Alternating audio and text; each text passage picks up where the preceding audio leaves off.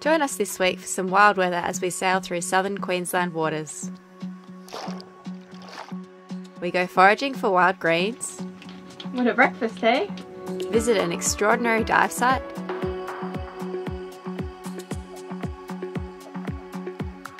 and face rough conditions as we exit Mooloolaba.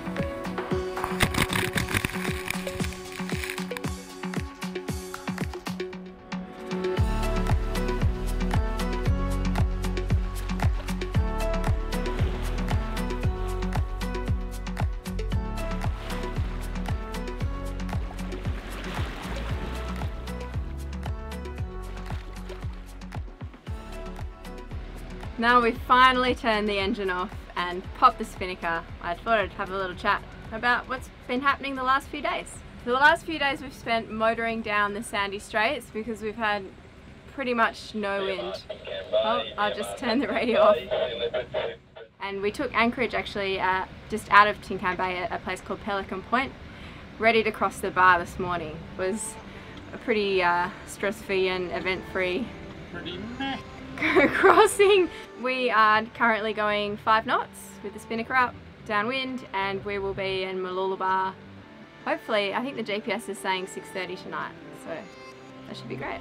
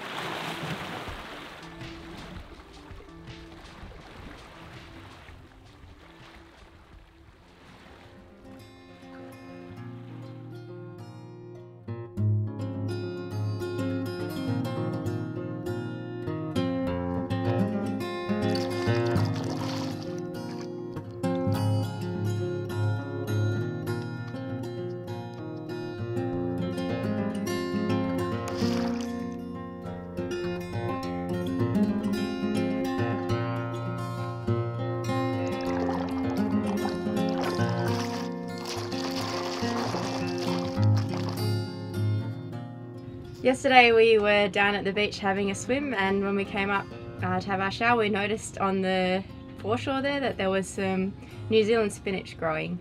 It's awesome, isn't it? Not only is there no crocodiles here, but there's free food. yeah, so that's one of the awesome things about coming a bit further south. We've got nice beautiful beaches to swim at, waves and in this temperate region there's some edible greens. The greens themselves just grow in a creeper along the ground and we harvested it and washed it and then we just pulled the leaves off the stem and just threw the stems away.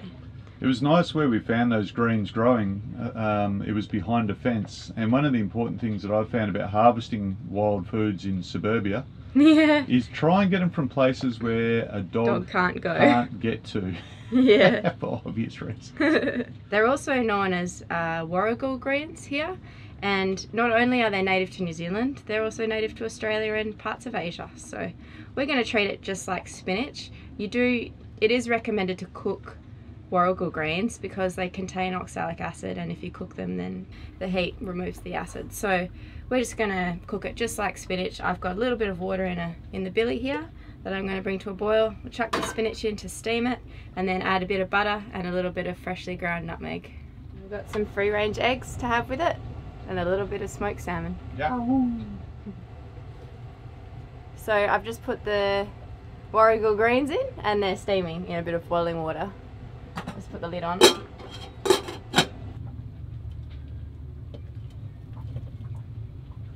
Alright, just going to add a teaspoon, a big teaspoon of butter in. And grate some nutmeg my very amazing microplane that my mum gave me one year for Christmas. That should be enough. I might put a bit of nutmeg in the eggs too. What? but my friend Chelsea taught me that one. It's, really it's a good, good one, isn't it?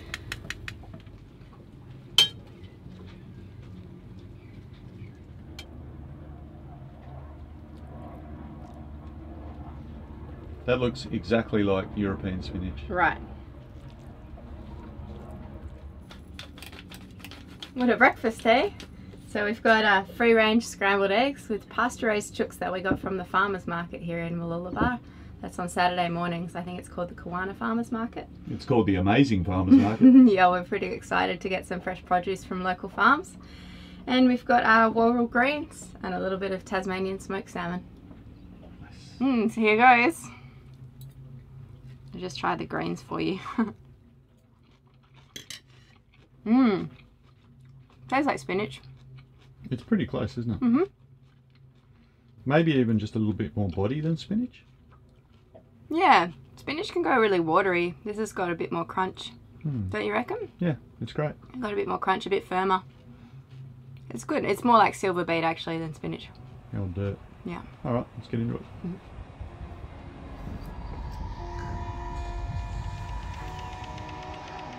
Another thing we really enjoyed about Mooloolaba was the friendly locals, like this ring-tailed possum.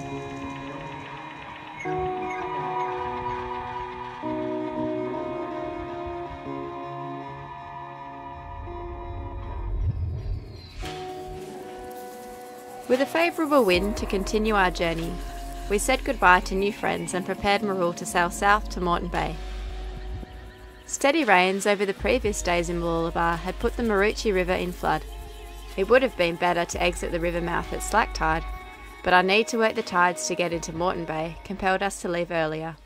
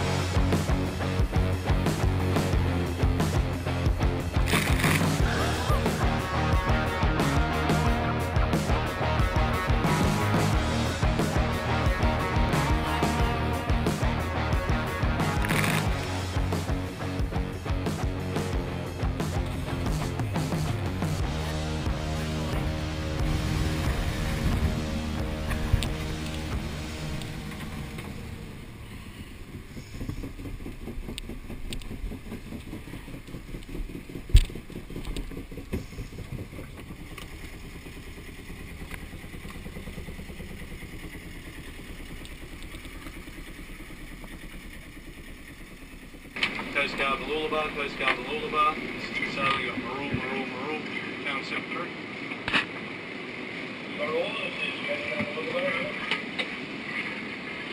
Yeah, g'day mate, this is uh, Marul. Two packs on board, we've just departed Mooloolaba. We're heading south and our destination is the southern end of Bribie Island.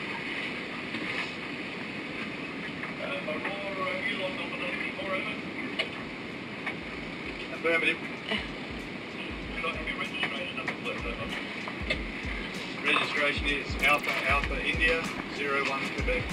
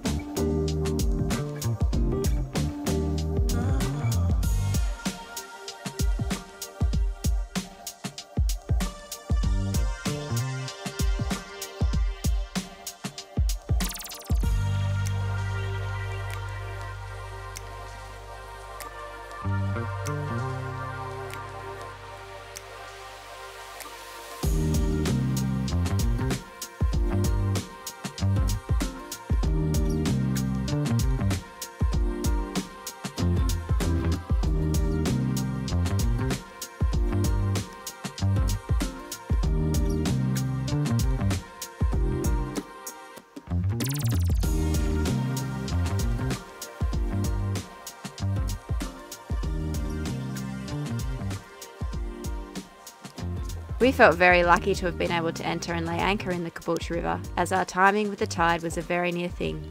We only had 10 centimetres under Marul's keel when we entered.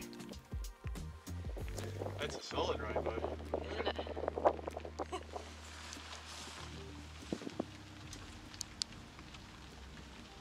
That is so bright there. It's hmm. starting to do another layer of colour.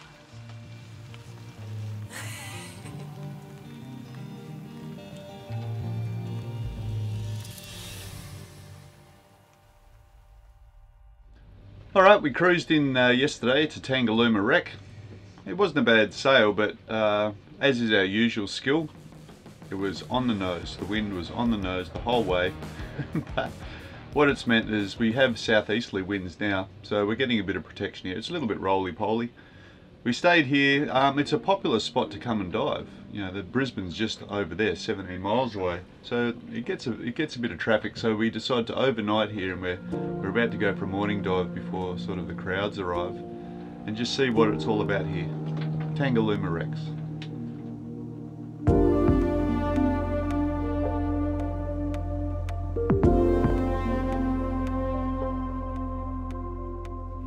The ships of the Tangalooma wrecks were sunk in 1963 to create a safe harbour for cruisers. The project was a bit of a failed experiment as the anchorage is not very protected in most conditions. However, the wrecks themselves have become a unique fish habitat, making for a fantastic dive site.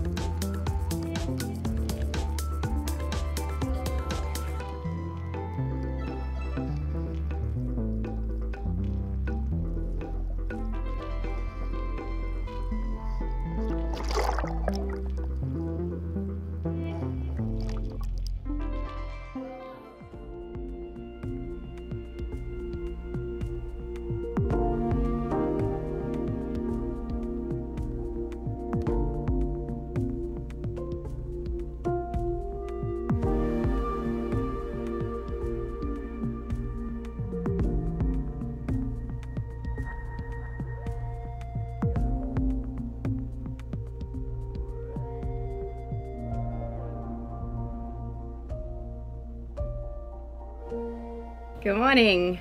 This morning we're having buckwheat pancakes and I've been busy getting a core workout while the boat rocks and rolls while I've been making them. But they're looking pretty good today. So I'm just going to pull the last one off the pan. We are going to tuck in. The last one's a bit fat.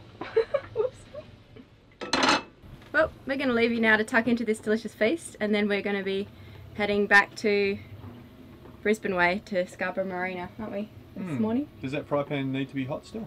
No, I didn't turn the fry pan off because I'm too busy filming.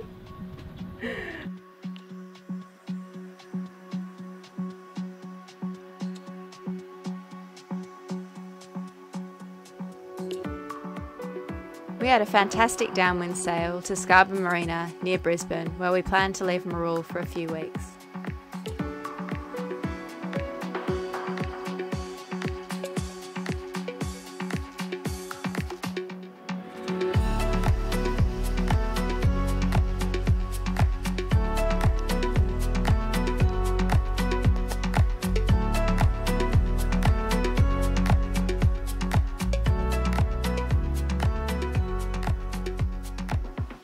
Hope you enjoyed this week's episode of Free Range Sailing, and if you did, please don't forget to give it a like.